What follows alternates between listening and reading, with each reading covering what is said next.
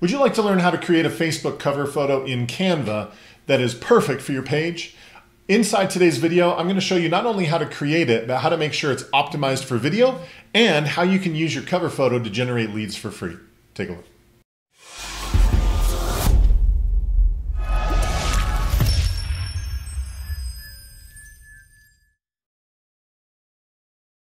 Hey everyone, Kevin Smullin with 2Q Lead Generation Strategies. If you are brand new to our channel, welcome. We're glad you're here. What we're all about is helping real estate agents just like you market their business, generate more leads, set more appointments, close more deals. So if that's what you're after, this is absolutely the place to be. Please consider subscribing. We'd love to have you as part of our community.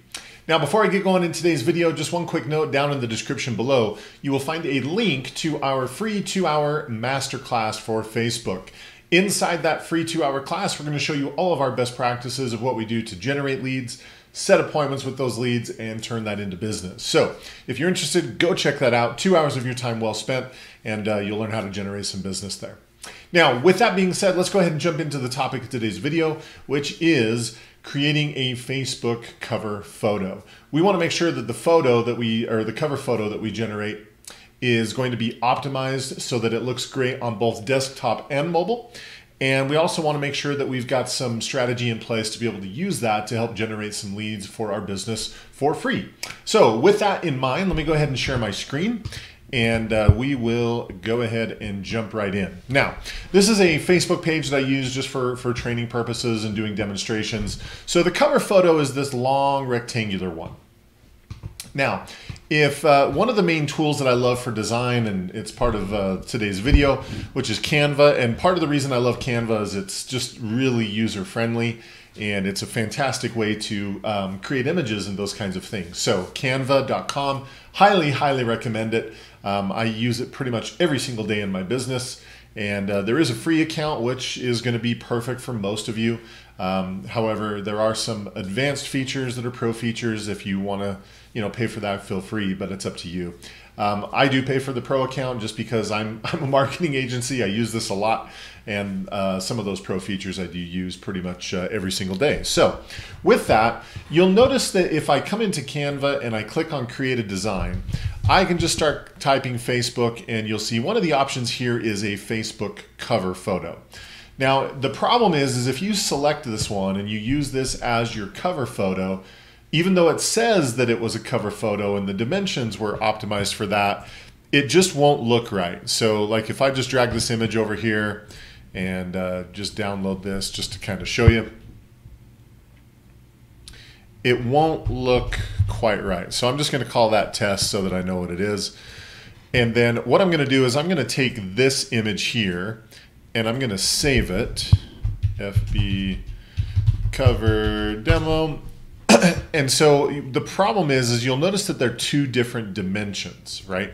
So if I go here and I just look at, this is the one that we just created in Canva. If I go to the properties to look at the dimensions, see how it's 1640 by 924? The reason why that's a problem is the other image that was there that was properly formatted if I go and look at the dimensions of that one, you'll notice that it's 820 by 312. Again, very, very different. So again, the problem is, is if I take that one that I just designed in Canva that it said was the proper dimensions, um, and I upload that photo, um, I called it test, there it is. See how that image is way too big for that space. And so what I've just designed, it doesn't look right. And so that's the problem with it. It's not going to fit this space well. So you've got to realize that your first step in creating your your uh, Facebook cover photo inside Canva is you can't use the template that they provide right here because the dimensions are wrong. So what you're going to do is you're going to come down to custom size and where you can type in what kind of dimensions you want. Now you'll notice I've used this recently because this is the proper dimensions for your cover photo. So it's 820 by 312. Okay, so you can just go ahead and hit that, create that design. And so now the space that we have, this is the proper space. So whatever I design in this space is, space is going to look perfect. Now there's all kinds of things that you can do. I'm going to show you how to create one of the templates that I love to use and how I do it very quickly. So one of the first things I'll do is I will go to elements and in the elements section there is the grids and the first one that I like to use is this one where it basically takes a third of the image for, or third of the whole thing for one image here, and then two thirds for the rest here. So that's the one that I, I typically like to use. Now, I also um, like to turn on um, like the grids and stuff. So um, I'm trying to remember where that is. It's been a little while. There we go. So up here under file where it has show rulers. So part of the reason why I'm pulling this up and showing you is because what we're formatting here is exactly what it will look like on a desktop. So this is proper for a desktop. Now with, an, with a mobile device, if people are viewing your cover photo on a mobile, it picks the same image, but because it's got less space, it's going to crop a little bit off of each end. So it's going to crop 90 pixels on each end. You can see that this is 100, so 90 pixels is going to be about right here. So from right here over will not be visible on a, on a desktop, or excuse me, on a mobile. And then same thing here. Um, since I have this set at 820, if I go 90 pixels the other way, that is going to be 730. So here's 750, 740, 730 about right there. Well, that's 725. So about 730 right there. So from here over, that will also not be visible on a mobile device. Okay, so again, the number is 90 pixels on each side. That's what you're kind of planning on. So with this template, the nice thing about this is it just allows you to drag photos into that space. Now you can go find photos that you have that you want. You can pull in photos from maybe some of your other listings or that. Um, make sure you're not using photos that are copyrighted. That's the biggest problem. Um, so I do pay for uh, the pro account on Canva, and part of what you get with the pro account is you get access to their photo library. So I can come up here and just type in house. And if I go to photos, these are all photos that I can use. And uh, you'll notice that some of them like have nothing on it which means it's free. But then other ones have this little crown that says pro which means you have to have a pro account or a paid account to use that one. So they do have some in here that you can use for free um, and really it's really just a matter of putting in some pictures here that you think are going to you know be captivating and, and stimulate people so you could put in something like that or um, you know, if if that more floats your boat, or maybe that does, um, you're kind of just picking an image that you think is good just for the sake of the demonstration. I'll use that one. You could use another photo of a house over here, or an interior image, or something like that. Um, one of the things I like to personally use this space for is I like to use it for something that's a little um, local in nature. So for me, I live in Utah. And uh, one of the things that is real big in our neck of the woods that a lot of people know us for is a lot of our natural parks and this arch. That is massively popular in Utah. And so if people see that, they know that I know where I live and what's going on. And it's just something that they use to identify with, you know, the locality. So I would recommend something like that. Then the next thing I like to do is I like to go um, to these uh, frames. And with these frames, you can pick different frames where you can stuff images in there. Um, the main one I like to use is this little circle. And we'll just adjust the size of it a little bit right there. Um, I want to make it about a third of the entire width of the page. And then I am just going to duplicate that and I'm going to pull it about right there. And then I'm going to duplicate that one more time. And um, I may stagger these just a little tiny bit. That looks good. So I would do something like that. And I'm really just trying to cover up that white, that white frame divider in between the two um, in between the top and the bottom. There's a reason I'm leaving a little gap here, which you'll see in a second. And then now that I've got these, I can just grab some photos and plug them in. So again, I could go find a picture of a kitchen.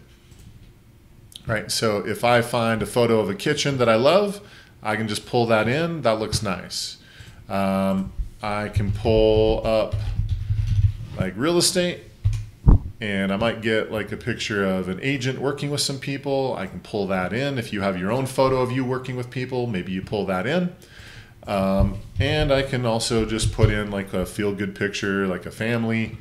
Um, uh, you know, a family in a house, something like that. That looks uh, nice. All right, cool.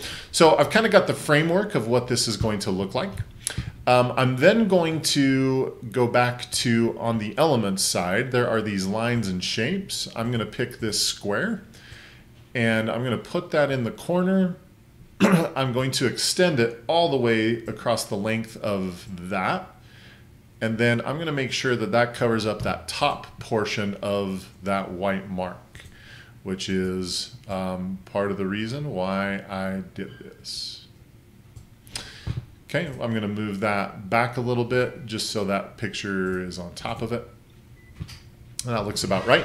And then what this does is it allows you to have some space to be able to have an, uh, some text or you know something like that. So if you have a slogan or a phrase or something like that that you use with your business, that would be the perfect space for that. You can come over here to text, add in, um, actually I want to add in a heading. So if you had a, a slogan, this is where you'd put it. So I'm just going to put buy, sell, invest. Again, you can make it whatever you want to make it. I'm going to make that white so it stands out a little bit better on that bar. And then I'm just going to come up here and kind of center it. That looks okay. So you could do something like that. You could plug in a phone number, again, anything you want to do, but it just allows you to put in some text. I'm then also going to go back to the elements and use another, oops, use another one of those squares. This one I'm going to put in this corner. I'm going to take it up to the top of that bar and I'm going to drag it all the way over here. And then um, what I'm going to do is, again, I'm going to turn it white. I'm going to position it backward behind those photos and behind that bar.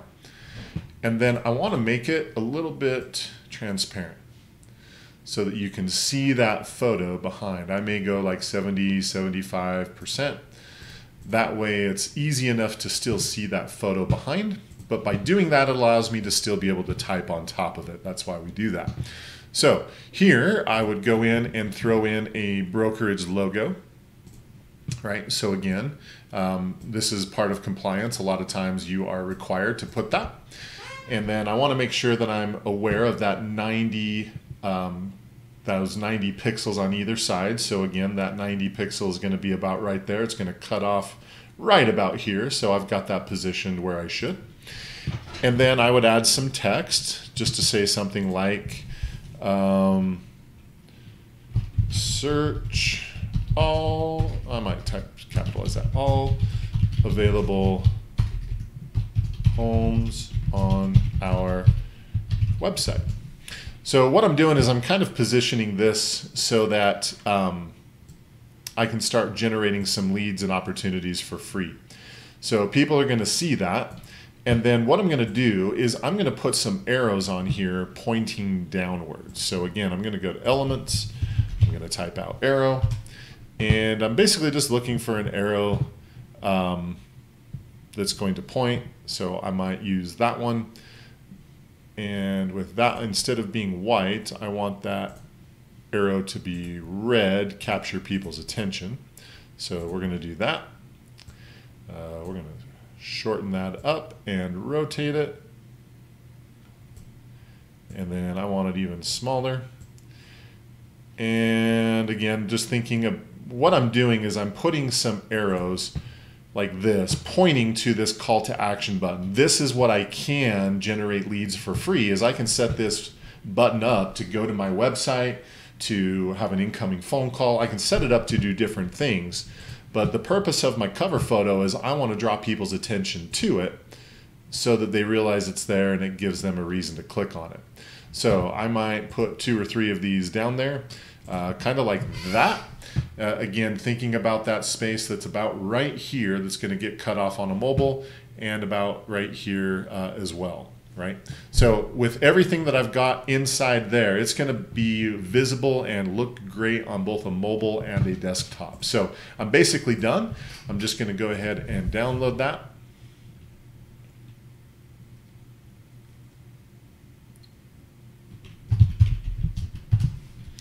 And now that I've got that done, let's just go ahead and upload that, um, which is right there.